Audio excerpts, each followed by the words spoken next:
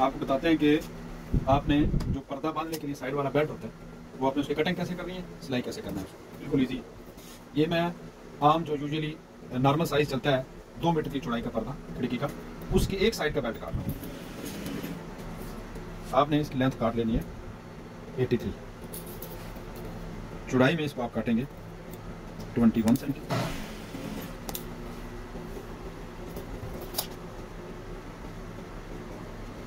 ये देखिए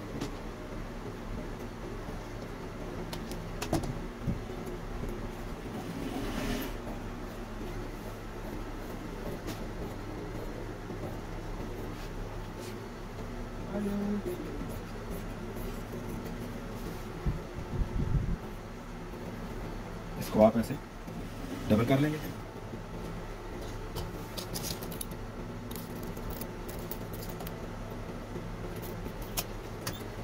यहाँ से आप इसको हल्का सा राउंड काट लें। यहाँ से आपने ध्यान रखना है, यहाँ से किनारे से नहीं काटना है। हल्का सा यहाँ से थोड़ा राउंड करना अब ये जो साइड आपने काटी है, इसी साइड को आप ऐसे इसके ऊपर रखेंगे। और दूसरी साइड को भी आप राउंड कर देंगे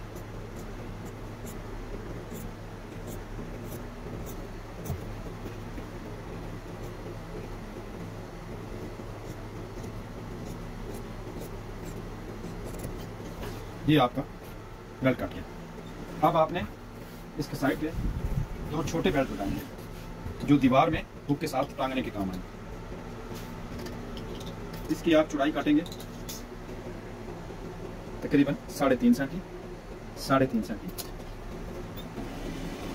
एक बेल्ट के लिए आपको दो छोटे छोटे बेल्ट काफ़ी होंगे।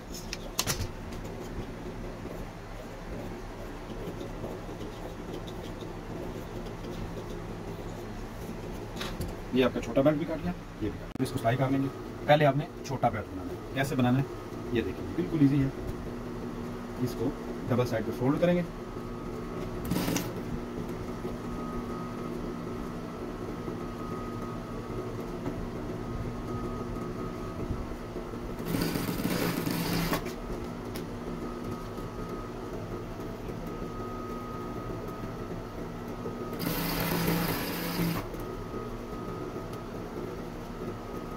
बस ये आप रोक अब इसको दो बेल्ट काट दो छोटे छोटे साइज़ काट लेंगे। तकरीबन चौदह सेंटी काफ़ी होता है। छोटी के इस तरह। इसके अंदर रखेंगे। सेंटर में।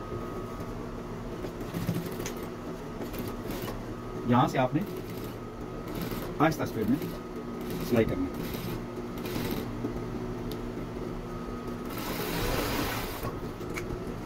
यहाँ आप इसको। यहाँ पे आप इसको थोड़ा रोकेंगे, थोड़ा गैप छोड़ेंगे।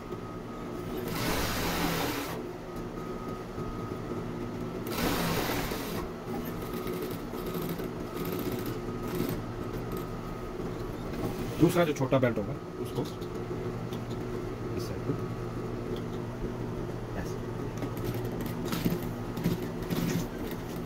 अब एक बात का आपने ध्यान रखना है।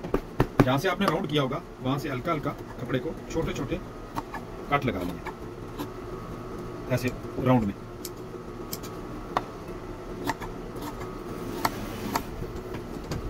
इसके बाद आप इसको, कपड़े को जहाँ से गैप छोड़ा था, वहाँ से इसको सीधा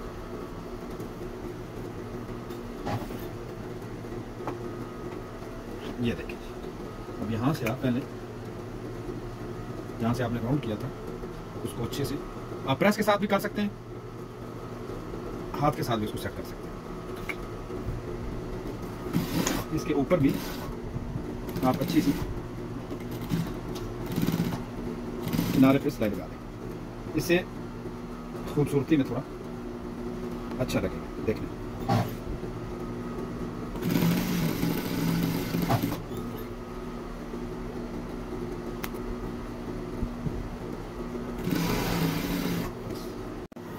ये जी आपका, यहाँ से।